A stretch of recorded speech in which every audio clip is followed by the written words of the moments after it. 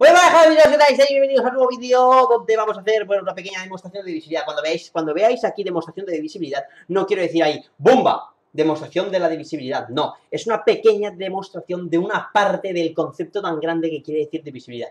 Más concretamente del concepto de la, de la propiedad transitiva puesto en comunión o en función o en concordancia con la divisibilidad.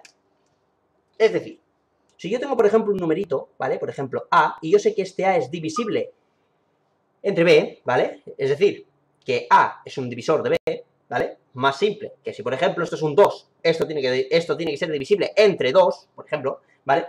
Y teniendo B divisor de C, entonces tengo que demostrar que A es divisor de C. Muy bien, ¿cómo esto demuestro esto? Bueno, pues muy simple.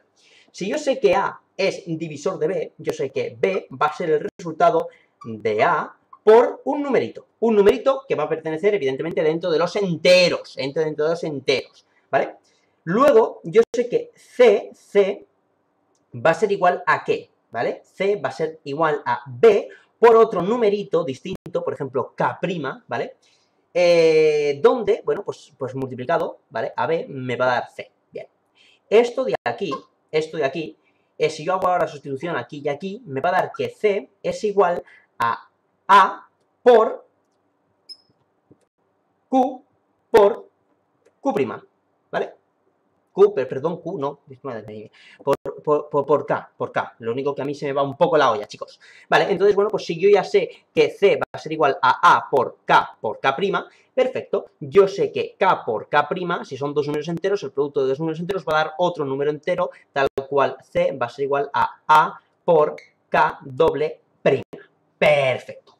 Entonces, una vez que ya tenemos esto, ya hemos demostrado esta propiedad, la propiedad de la divisibilidad, ¿vale? Aquí, bueno, una de las grandes propiedades, y para que lo entendáis un pelín mejor, os voy a hacer un pequeño ejemplo.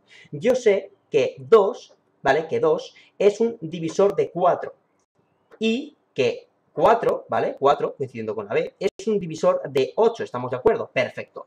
Entonces tenemos que demostrar, tenemos que demostrar que 8, evidente, digo que 8, que 2, evidentemente es un divisor de 8. Bueno, a ver, esto nosotros lo sabemos, lo sabemos porque es que si, si no lo vemos claro es que somos tontos. Entonces, bueno, pues yo voy a decir, bueno, pues 4 es igual a 2 por un número, ¿vale? 8 va a ser igual a 4 por otro número, ¿vale?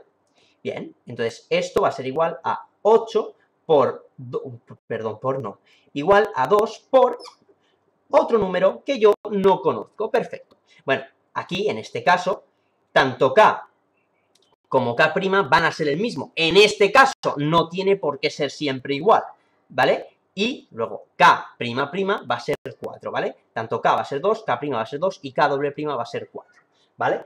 Bueno, pues esto es lo que yo quería que eh, entendieseis, ¿vale? Porque es una cosa bastante interesante y, y, bueno, a la hora pues es útil y, bueno, en fin, que eso. Nos vemos en el próximo vídeo, un saludo a todos.